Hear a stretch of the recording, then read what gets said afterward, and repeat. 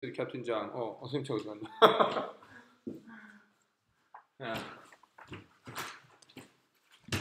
This is the class for math at uh, high school in Korea, differential integral page 27. 자, 요 문제입니다. 요 문제를 가지고 이제 풀어보겠는데, 자, 요거 좀 쉽게 푸는 법을 알려주겠습니다. 지금 이 문제는 이제 해석을 잘못하면 굉장히 힘들어지는데 버려진 선분의 길이 합은 얼마일까? 근데 그 다른 선생님이 풀어놓은 풀이 학생이 이제 옮겨 적은 것 같은데 그거는 반대로 남아있는 부분을 다 더해버렸지 남아있는 부분을 다 더해보니까 어떻게 돼? 1항부터 약간 이런 식으로 다 더하는 꼴이 돼버렸어 그러고 보니까 굉장히 양이 많아지지 어, 굉장히 양이 많아져가지고 원래 선분의 길이가 1인데 3까지 나와버렸어 아, 저기 맞는 줄 알았거든 처음에 그래가지고 문제 해석을 잘못해가지고 선생님도 잠깐 안 돼요. 요거는 이제 버려진 부분을 더한단 말이야 버려진 부분은 그대로 계승이 돼요. 이렇게 한단 말이에요. 그러니까 이렇게 되지. 그렇지? 그 다음에 얘 또 잘라. 어. 어차피 앞에 있었던 애들 그냥 계승했어. 내려왔어. 그렇잖아 얘는 어차피 변화 없어. 그냥 이거를, 이거를만 다 더하면 돼. 이 안에서만. 그럼 무한히 자꾸 쪼개당서 해보자. 나중에는 먼지만 남겠지. 나중에 점점점 이걸 극한. 아, N은, 아, 이렇게 썼나? 음. 해가지고, 이거 보내버리고 리미트 써버리면 얘를, 어, 상상, 상상. 거의 완전 거의 없는 존재거든요, 진짜. 점점점점점만 나오는데 여기 최대 길이는 얼마야? 최대 길이.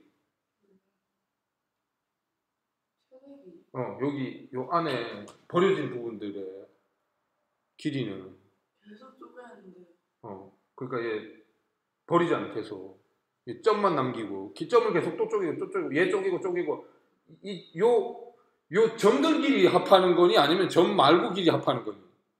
점 말고 그렇지 말고 말고 얘들 다 합하면 얼마다 지금? 다. 어 답이 이게 되니 아무리 이거 크게 잡아도 1 넘어갈 수 있어? 음. 계산할 필요 없지 이건 답이 쉽지 않니?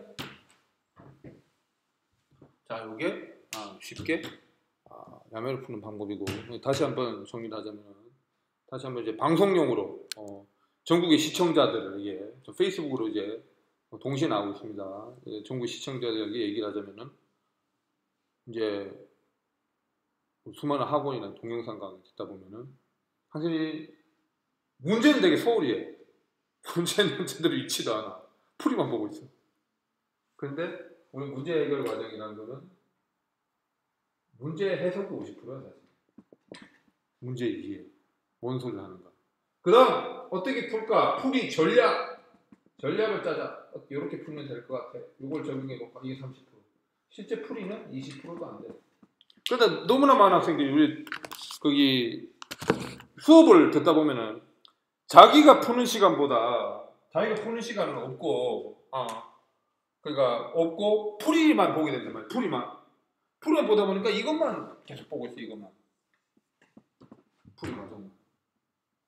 그러니까 문제 해설을 일단 문제 해설을 우리 동영상 강의 하고서 들으면은 한명한 명이 다 따로따로 해봐야 되는데 어떻게 돼? 뭐 시간 없잖아 여러 명 하니까 문제 해설부터 선생님이 해버려 요거는 이런 뜻이고 이런 뜻이고 이렇게 푼다 이렇게 해버려 아, 생각을 해버려 영어 독해하고 국어 독해 공부를 하는데 나는 독해 한 번도 안 하고 선생님 혼자 계속 강독만 하면은 그게 내가 늘겠니? 똑같은 상황이야 독해라는 거는 영어, 국어에만 필요한 게 아니라 수학에도 필요하다는 거지. 그래서 선생님의 이제 공부법은 항상 수업 때도 무슨 문제 뭐라는 얘기 같니? 나가 이렇게 물어. 문제가 지금 뭐라고 하는 거야?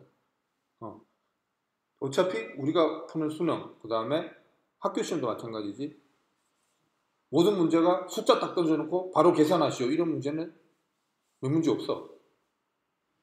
글이 많아, 글. 글을 읽고 풀어야 되기 때문에 수학도 결국 독해다. 요게 가장 중요하다. 요거를 강조하는 수업을 항상 하고 있습니다. 자, 그러면 우리 어, 그다음 문제 내가 개념 열기 요거를 한번 풀어보도록 할게.